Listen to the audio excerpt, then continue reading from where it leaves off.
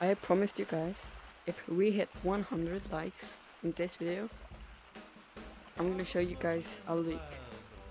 And we hit um a lot. But before I show you the leak, I wanna thank you guys. Because we hit 800 subscribers. And yeah, and here's the leak. So we might get Lucy back.